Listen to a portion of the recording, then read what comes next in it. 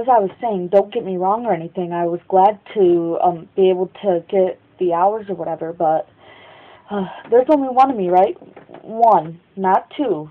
You only see one of me? but they be tripping over that Burger King. They be thinking that I'm five people. Nuh-uh. Sammy don't play that. No. Not, not at all. They just gotta get over that.